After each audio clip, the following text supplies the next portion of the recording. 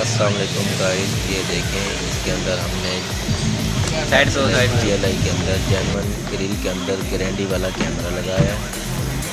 और इसका view check करें इसका बैक का और फ्रंट का व्यू चेक करें। इन आपको पसंद आएगा। और